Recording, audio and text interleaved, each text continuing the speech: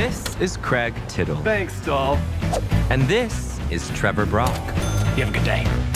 My cock is fucking massive. It always leaves the ladies sore. The money just keeps rolling in. The good times never stop. There's never been a man like me, and I'll always be on top. Craig Tittle, Trevor Brock, my two top salesmen. You two motherfuckers look like y'all could be twins. I think we actually look very dissimilar.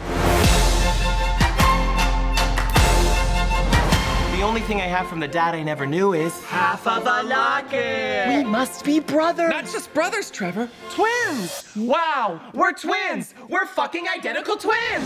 If mom and dad got married again, then we'd have a real family. What if we trick them into getting back together? What are you doing here? the twins. Y'all servants. This is my palace, built it brick by brick. So get in the line, drop on your knees, and suck my fucking dick.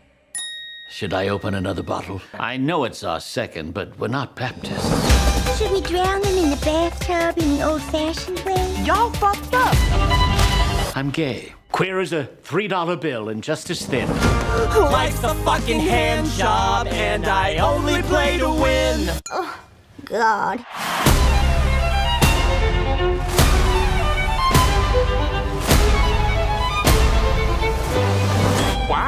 A, a lady boss. I guess it really is the year that it is. I'm so sorry. Did you say sewer boys? Disgusting! They're not disgusting, they're gay culture.